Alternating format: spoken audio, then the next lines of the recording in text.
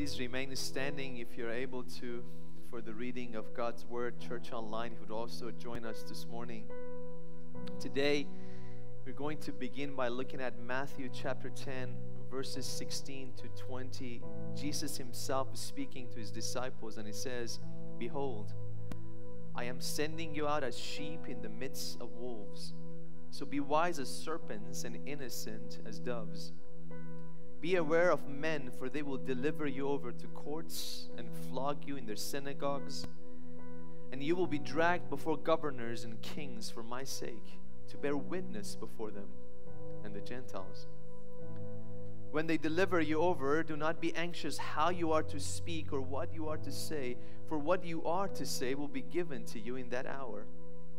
For it is not you who speak, but the Spirit of your Father speaking through you. Let's pray together this morning.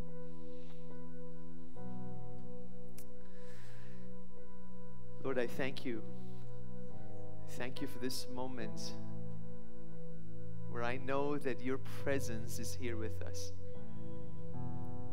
Lord, I thank you that your spirit is mighty, your power is present, and that you are worthy of our exaltation. You are worthy to be lifted high. And God, we stand here this morning to exalt your name on high, to give you praise because we are not merely your creation. We are not merely individuals who have gathered, we are the children of the living, mighty, wonderful God who has called us to Himself to serve Him, to live for Him, but to sing songs of praise to the precious Savior of all humanity. So we exalt your name on high, and we are gathered here so that your word, your truth would penetrate the depths of our hearts. So if there is any iniquity, if there is any wretchedness, if there is anything that does not belong in there, that your might, your power, your spirit would remove it. So, Jesus, speak to every heart in this place today. Speak to every heart who hears this message. Because this time, this hour, is the hour that our Savior speaks. We exalt your name name of my Savior, Jesus Christ, I pray. Amen. You may be seated. Good morning, everybody. How's everyone doing this morning? Good. I think this side is a bit more better than the other side, but hey, who am I to judge here this morning, huh? You know, before we get started, I have to tell you whatever it is that God wants to speak to you today, Satan didn't want it to happen. The enemy didn't want you to hear this message. And I have to come to the conclusion that it is important. It is important that God didn't want it to happen. But I'm thankful, though. I'm thankful because I'm thankful that God doesn't need a man like me to speak his hope and salvation and grace to you guys. That even if I weren't here, God would still find a stick to speak. He would find a block to speak. He would find an instrument, or he would find a more, more handsome man than I to speak to you the message of the gospel. But the truth is, He doesn't need me. But He will still speak. His word will still speak to you today. And I hope that you allow His word to speak to you as we just read through it and as we allow His Spirit to move in this place. I've titled this message, Let's Live Twice. And the reason is because as we get into chapter 10 of Matthew, if you want to open your Bibles and be ready for it, as we look at chapter 10 of Matthew, Jesus calls his disciples, and Jesus shows his disciples, and the disciples are going to learn through this passage that they get to live once on this earth for Jesus, that everything else doesn't really matter. But they also learn, you will see later on in the Gospel of Matthew, and even within this chapter, they will learn that even if they do die in this world, they will still live a second time for the sake of the gospel of Jesus Christ because of the hope of Jesus Christ. And I want to let you know this because it's important that we, if you call yourself a disciple, if you call yourself a follower of Jesus, you live twice. You live the first life in the fullest extent. And when I say fullest extent, some of you think of, of the crazy things that everybody else does. No, fullest extent means that you live a good life that honors God and you're not getting in trouble for everything else that everybody else gets in trouble for. But you, if you die, when you die, you will still get to live a second time, and that is victorious by itself. Now, what is what is amazing though is if you open to Matthew chapter 10 verse 1 starts like this. Last week we talked about last week we talked about the authority of Jesus how he has authority in Matthew chapter 8 and 9 over governmental powers over spiritual powers demonic powers over financial powers. It doesn't matter what power or authority there is Jesus has authority over it. And this is in verse 1 chapter 10 it says and he called to him Jesus called to him his 12 disciples and gave them what is the word right there? What, what is the word right there Jesus gave him authority over the unclean spirits to cast out and to heal every disease and every affliction. So here's a, here's a God who has authority over everything. And he comes and calls his disciples to himself, saying, I'm giving you authority. The authority of God is given to his disciples. Now that's crazy. That's crazy. Because if you're a disciple of Jesus, technically you receive the authority of Jesus. But then he says, here's where it gets interesting. The next verse, and some of you say, Are you really going to read the names? Yes. Okay, it says the next verse says, verse 2 says, The names of the 12 apostles. Interesting detail right here. First, let me pause right here. Apostles, the first time in the scripture in Matthew where the disciples are referred to as apostles, the word literally translates to the sent out ones. Okay? The people are sent out. The name of the 12 apostles are these First Simon, who is called Peter, and Andrew, his brother, James, the son of Zebedee, and John, his brother, Philip and Bartholomew, Thomas and Matthew, who is the author of this gospel, the tax collector, James, the son of Alphaeus, and Thaddeus. Simon the Zealot, now here's, here's where things get really interesting, and Judas Iscariot, who betrayed him. Now, Jesus is giving authority but yet he's also given authority to Judas, who's going to betray him, who is the betrayer. Now, some of you may say, well, at this point, he hadn't betrayed Jesus yet. But the scripture is clear that Jesus knew from the beginning that Judas was going to betray him. But yet, still, Jesus gives authority to Judas to, to do the same things, miracles that the other apostles are about to do.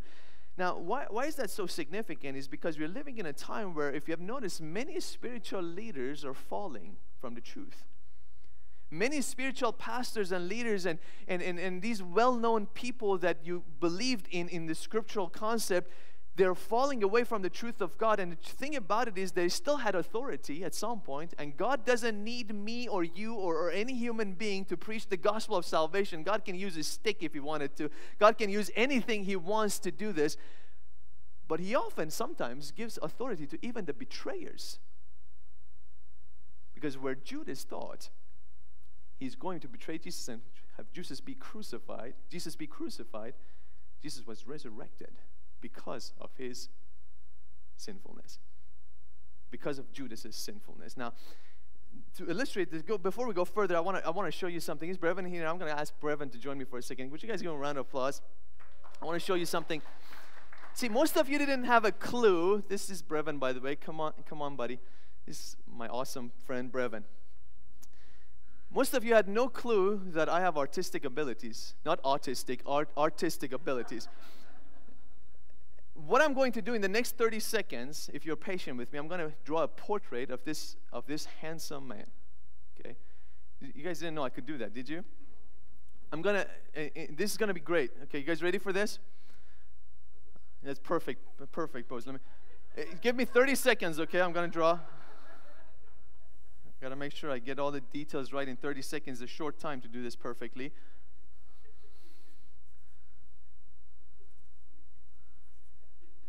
Get the lip details right there. Hold on. Hold on. Almost done. Almost done. I know it's. Uh,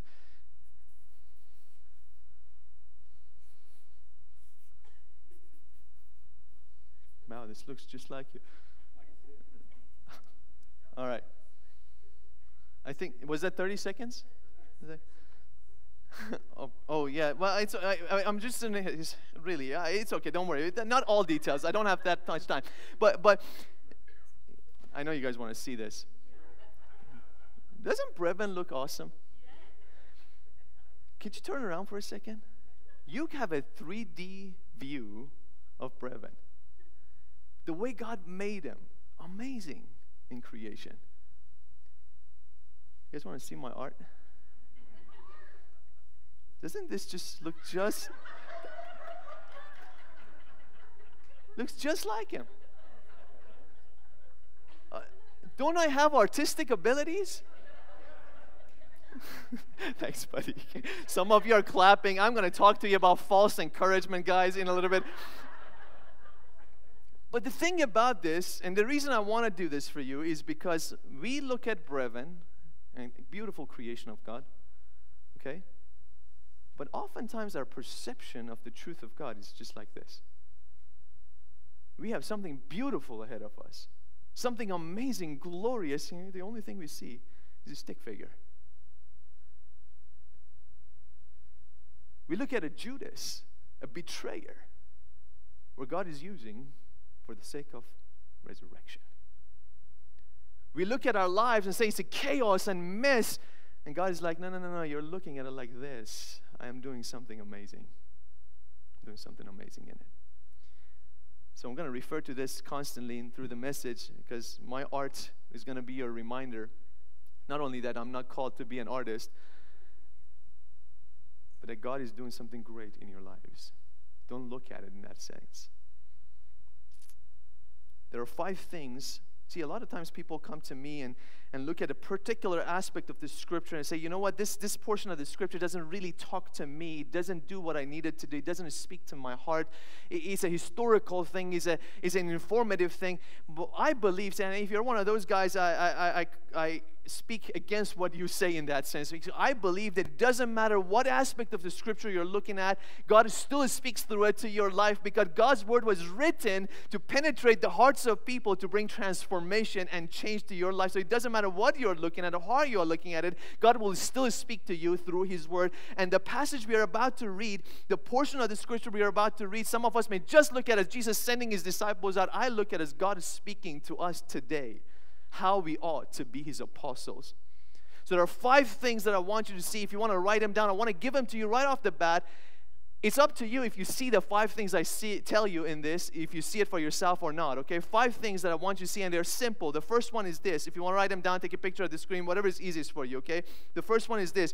When Jesus sends his people out, he sends them out with a specific location in mind when Jesus sends his people out, he sends them out with a specific location in mind. And people always come to me and say, Well, I, I wasn't sent by God to a specific location. Now, listen, don't look at it like this. Look at it the way God has designed it. That's the first task for you, okay? Specific location in mind. For, for some of you, maybe it's your job environment. For some of you, it's maybe your school. For some of you, it's a different country. For my wife and I, for Nicole and I, it's Catalina. Yeah, Persian dude. God has brought a Persian guy to Catalina with a specific location in mind. Okay? The second thing I want you to see in this particular passage is when Jesus sends his people out, he sends them out to a specific target audience. God is a God of order and plans. When God sends you out, he sends you out to a specific target audience. Jesus is not going to send everybody. He's not going to send everybody to speak to the Muslims. He's not going to send everybody to speak to, to the doctors. Everybody is called to a different target audience based on your creation, based on the way God has designed you perfectly. The problem with our culture is that we confuse equality with similarity. They're two different things. We were created equally, but not similarly. Each one of us bring a different perspective to the kingdom of God. Each one of us serve Jesus in a different way. The third thing I want you to see is when Jesus sends his people out, he sends them out with a specific task at hand. Everybody has a different task, okay? And the problem with us is we don't like the task. Because we don't like the task, our biggest excuse is often this God didn't tell me what I'm supposed to do, so I'm not doing it. Jesus calls you to a specific location, to a specific target audience with a specific task in mind. And here's the thing the fourth thing that comes is really the horrible, the, the horrible one that we really don't like. When Jesus sends his people out, he sends them out with a specific warning ahead. There's always a warning that comes when Jesus sends his people out, like you see in the passage I'm sending you as sheep among the wolves. That doesn't sound fun. I don't want to be torn apart. And the problem is, we look at these four things, and sometimes we just want to stick to the fifth one and say, you know what, the fifth one I like, I'm going to tell you what it is, but the rest of them I don't really like so much. The fifth one is this when Jesus sends his people out, he sends them out with a specific promise to come. So, well, oh, can I hold on just to the promise and the rest of them will deal, deal with themselves? No, you can't. You have to have the location, you have to have the task, you have to know the audience, you have to be able to go through what he has warned you about so that you could experience the promise. Everybody so good so far with me? You guys with me still? This side is with me. I'll talk to you guys because thank you for listening. but it says in verse 5, it says in verse 5, these 12 Jesus sent out. The word sent out is the same word as apostle. He made them into apostles. These 12 Jesus sent out, instructing them go nowhere among the Gentiles and enter no town of the Samaritans, but go rather to the lost sheep of the house of Israel. The first thing you see is they're sent to a specific location, to a specific target audience. Okay, why, why is that so significant? Because Jesus is sending him only sending him out only to the Jews, and some of you may, may read this and say, hold on a second, I thought Jesus loves everybody. Why is he only sending him out to the Jews? There are a couple reasons behind that. To begin, they're just starting to be apostles.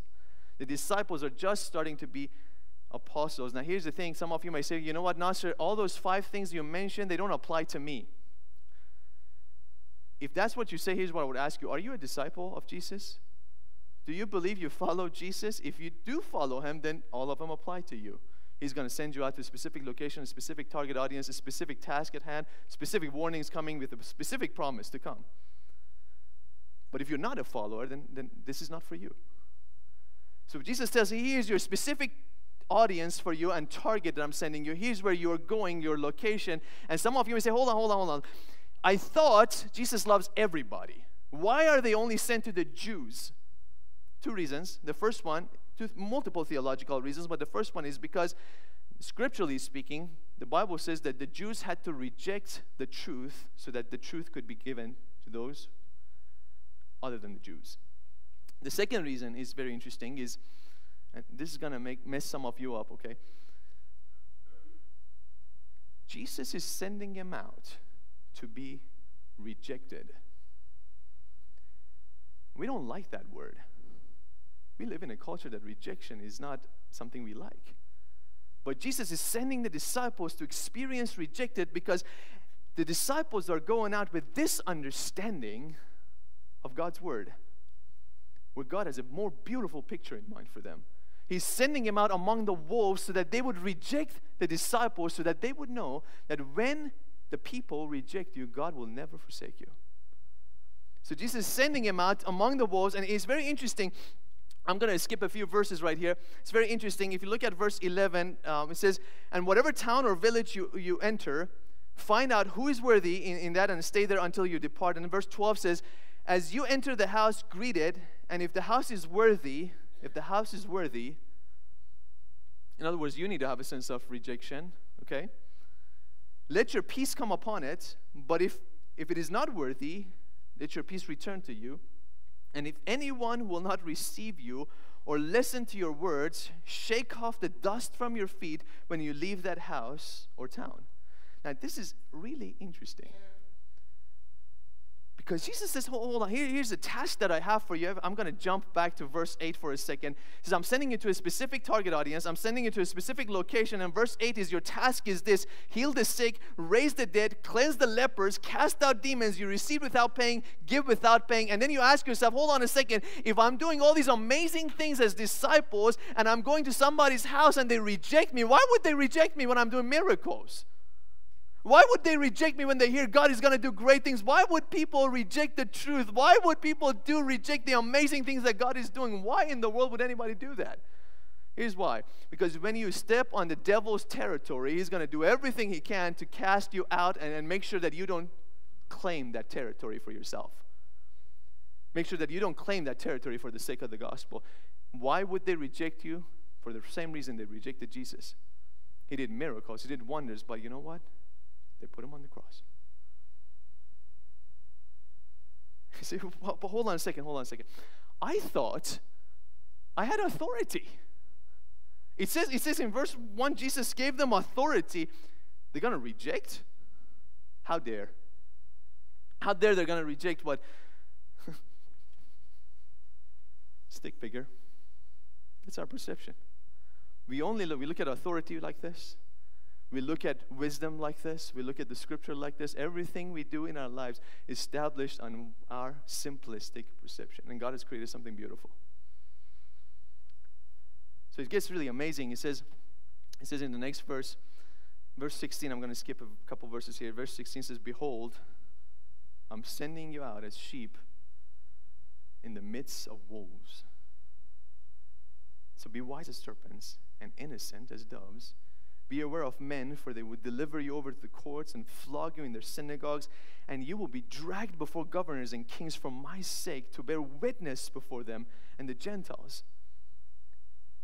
Look at the next verse. It says, When they deliver you over, do not be anxious how you are to speak or what you are to say, for what you are to say will be given to you in that hour. For it is not you who speak, but the Spirit of your Father speaking through you. It's crazy. Uh, you read this, oh, hold on, hold on, Jesus. I thought, I, I thought you said authority. I like that. I like authority. Can I keep it? I thought you said I have authority, and because I have authority, I, I, nothing bad can happen to me.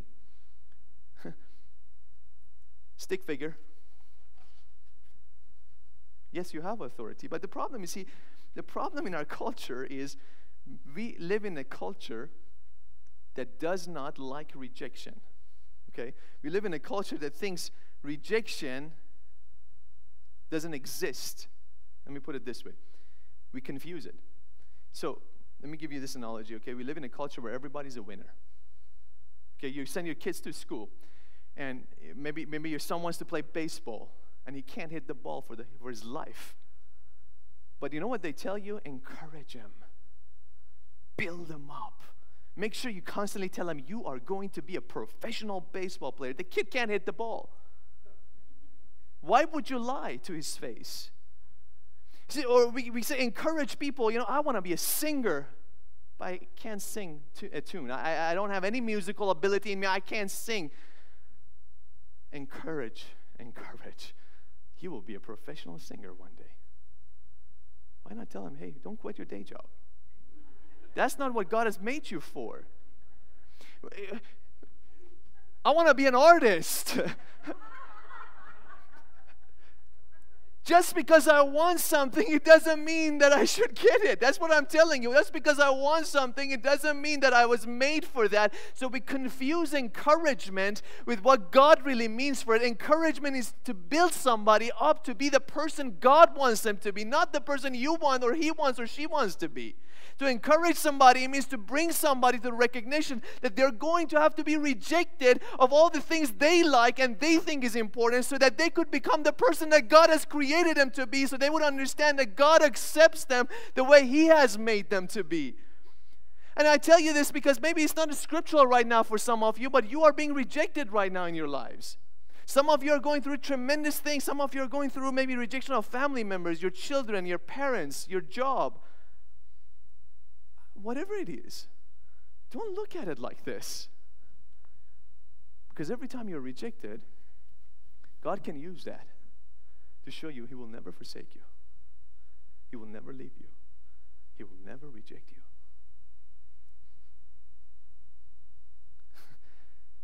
you have authority. So let's go back to that authority for a second. Okay, I have authority.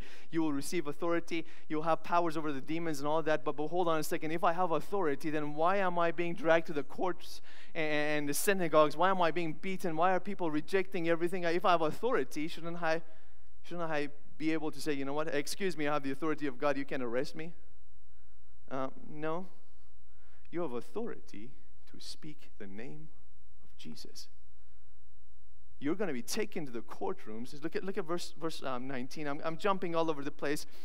I hope you have your Bibles, but verse 19 says, When they uh, deliver you over, do not be anxious how you are to speak. Okay?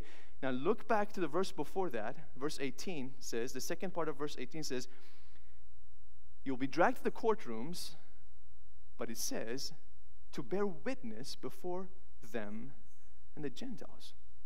In other words, your authority is to speak the name of Jesus.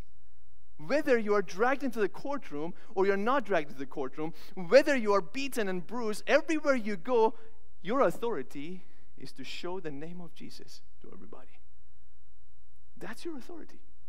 And then he says, don't worry about what you say because God will speak. He's, God is speaking. But look at, look at verse 21. It says, Brother will deliver brother over to death, and the father his child, and children will raise against parents and have them put to death. That sounds exciting. And you will be hated by all for my name's sake. Here's your warning. Here's your warning. You want to go be a disciple? That's good. You want to be a disciple? That's great. But are you ready to go to a location? Are you ready to go to an audience? Are you ready to go to this, with the specific test? Now, do you see the warning?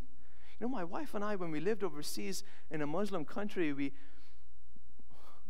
guys, I, I, we have seen things that would blow your mind away. I saw a father, I could never comprehend parents could do that. I saw a father hire a mob to beat his son and daughter in law, who was pregnant, half to death because they had gone to church. I saw a father beat his son, 16 year old boy, so badly and kick him out of the house forever, casting him out from his house because he had gone to church and called on the name of Jesus. Father will hate his children, brothers will hate one another. Why? Because you have the authority of Jesus. Some of you here say, I don't want that authority. I don't want that authority because I don't want to be hated. I don't want to be rejected. I don't like that. So we skip all of it so we can have the promise. Oh, I'll have eternal life though. It's great. Look at this. The second part of verse 22 says, But the one who endures to the end. The one who does what? I'm sorry, what am I supposed to do now? The one who endures to the end will be saved. Are you saying that I have to be the sheep among those wolves? So they can rip me apart? Are you saying that I have to be dragged into the courtroom? Are you saying that I have to be beaten up? Are you saying that I have to go through all these crazy things and be rejected and hated by the people around me so that I, w- I would be saved? Here's my, I want to finish with this question for you guys, and this is so important. Do you know the location that God has sent you? Do you know the audience He has sent you? Do you know the task He has for you? Do you know the warnings He has for you? Because without those, the promise is useless. Let me, let me put it this way if you go to work, if you hang out with your family members, and they don't believe in Jesus, they don't believe that He's the Son of the living God sent to earth to save humanity from their sins. It, it doesn't matter what they believe if they don't believe in what you believe as a disciple of Jesus. And yet they welcome you and they love you because they see no difference in your life because you do everything they do they enjoy you enjoy everything they enjoy you speak the same things they speak you drink the same things they drink and you're not hated because your life does not expose the darkness, is it possible that you're not even a disciple? Is it possible that you don't understand? That you have held on to the promise but bypassed everything else? Is it possible to look and see where God has called you really? Or are you missing that point? see, are you looking at the Word of God drawing a stick figure out of it because that's sufficient for you. Because here's the thing if you are a follower of Jesus, when you go somewhere, when you hang out with your friends, they will not invite you sometimes the next time because you will expose the darkness that exists. Because you will show that that's not the way that God has called you to live the first time in this world. See, the problem with Christianity today, the modern Christianity, is that we don't know what it means to be apostles. We don't know what it means to be sent out. We are sent out to cleanse the world. But as we do, we will step on the wrong territory and we will be rejected, abused, and hurt. See, you come to this church, this is the only place you should be accepted.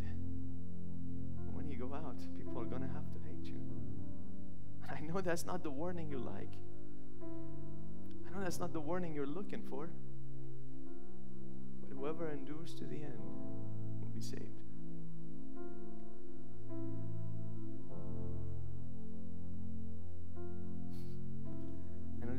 Easy.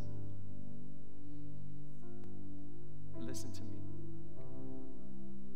What if you don't realize that you are the last hope?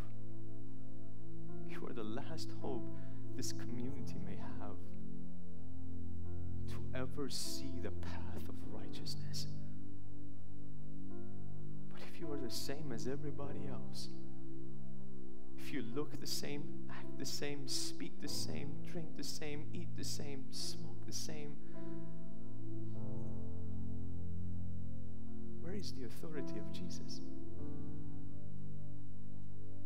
You are the last hope in a nation that is crumbling, in a society that is breaking.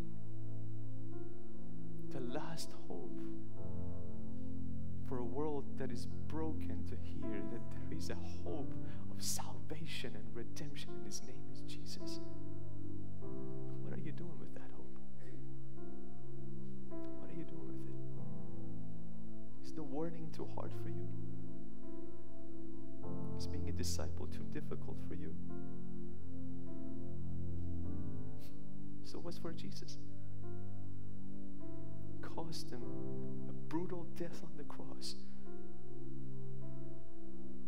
Listen, let me finish this morning by reading Psalm 142. David, before he was King David, before the promise, when he was fleeing and he was hiding in a cave, when he was rejected, he said these words. Would you mind standing up for this if you're able to? Church Online, you too. Response says, With my voice I cry out to the Lord. With my voice I plead for mercy to the Lord. I pour out my complaint before Him. I tell my trouble before Him. When my spirit faints within me, you know my way. In the path where I walk, they have hidden a trap for me. Look to the right and see, there is none who takes notice of me. No refuge remains to me. No one cares for my soul. I am rejected. Look at this. I cry to you, O Lord. I say, You are my refuge, my portion in the land of the living. Because it doesn't matter how you are rejected, you will never forsaken. You will never be left alone by your Savior. So, listen, if the Spirit of God leads you this morning to come and kneel before His presence, come kneel up here in your seats. If the Spirit of God leads you, just bow your heads or raise your hands to exalt the name of our Savior. Father, I give you praise in this place. Father, I give you praise because I can I have to only look at my own life. If the Islamic Republic of Iran did not reject me and my family, I would never be a follower of Christ. I would never be a pastor. Father, if I had not experienced rejection, I would never know that my God loves me and died on the cross for my sins. Father, I thank you that you help each and every person in this room to know that this world will hate them and reject them because they don't understand what the hope of Christ looks like. because they don't understand or they do not want to accept that our God is the God above all, the authority above all authorities, the name above every name, and He lives in the heart of His disciples. Father, I pray for every soul here and those watching online that today the words they have read and heard would stick in their hearts, that they would know that they are not forsaken by you. They are loved by you, but yet they will be forsaken in this world. Because the path of this world is the path of darkness, is a path of evil.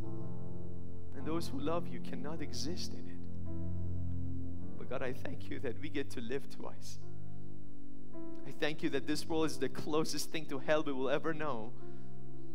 And as we honor you in this world, we honor you knowing that the second time we live, it will be a life of glory, a life of experiencing the King of Kings face to face.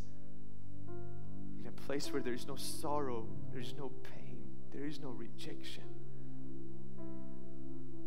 Father, I thank you that you open our minds and our hearts to know that when we look at things as just a stick figure, you have created a beautiful plan for our lives.